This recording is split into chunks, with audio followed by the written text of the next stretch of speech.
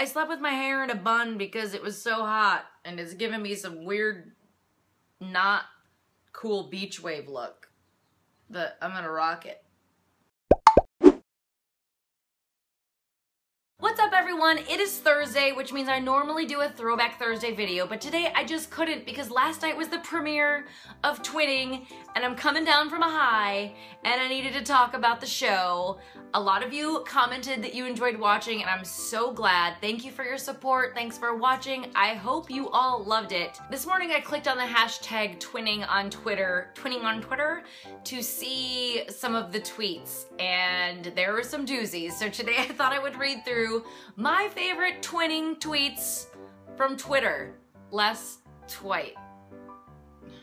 The first one came to me through a friend who texted it to me because it was tweeted by Rosie O'Donnell. Rosie O'Donnell tweeted a picture of me and said twinning, um, the host, not a twin. I could see where people think that this show should be hosted by a twin, but let me defend myself here. Twins know how twins act. Twins get it. Twins are not impressed when other twins can read each other's minds. Twins know that if they're living in two separate houses, they might do the same thing at the same time. You know who doesn't know that? Non-twins. You know who's impressed by that? Non-twins. You know who looks at these twins the way that anyone else in America who's not a twin does? Angie Greenup.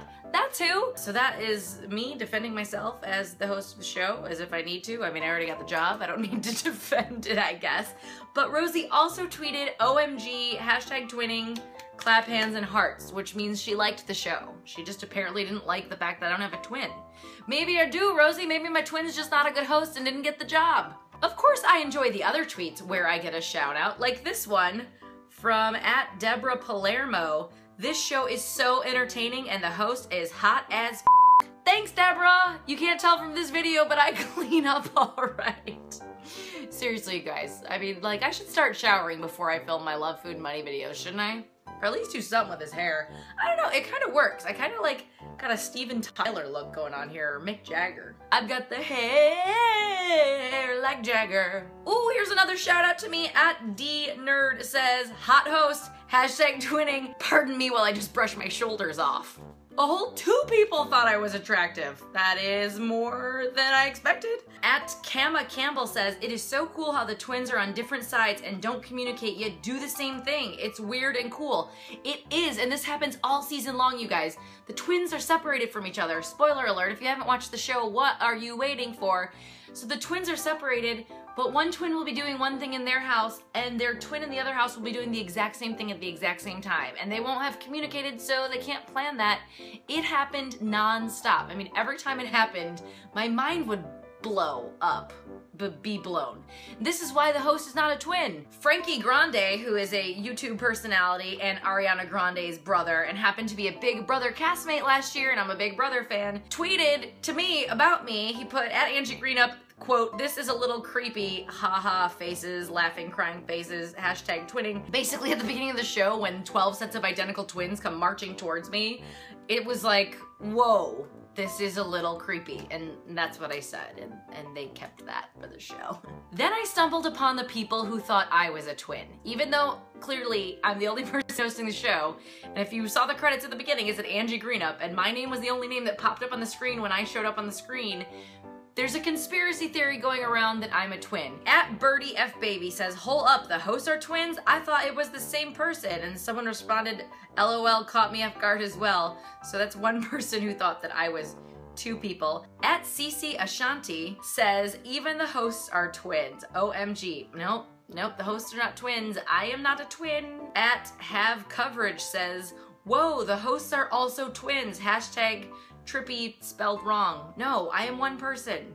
It's just me. At the end of the episode, we did the twin off, and there, there seemed to be some people who thought it was funny that A, the boys couldn't spell, and B, the girls didn't know the difference between a country and a city. Because I asked them if you could go to any country, where would you like to go? And the girls, Mimi and Key, said Paris and London, which are, as you hopefully know, cities, not countries. So at Lexus19 says, so y'all are going to sit there, act like you didn't see Key and Mimi, but Paris and London is countries? Oh, okay. And then in the twin off, the boys didn't know how to spell Italy or Spanish. At Smash Bros Boss says, man, that was some bullshit. He ain't even spell Italy right. Italy uh, is a pretty basic word and a country you learn about pretty early on in life. There's no reason why somebody in their 20s should not be able to spell Italy. But I'm not a judge on the show. I don't decide if an answer is correct or if spelling counts. That's not my decision as the host. I just tell them if they won or not or if they got it right or not. Don't shoot the messenger, guys. Okay, I'm just the deliverer of the news. I don't create the news. Please comment below. Tell me what you thought of twinning. If you didn't watch it, go watch it now. I can say it before, say it again. It's gonna be on every Wednesday night this summer. 10, 9 Central, VH1. Follow me Twitter and Instagram at Angie Greenup. Subscribe, I post videos every single weekday, and I'll see you tomorrow.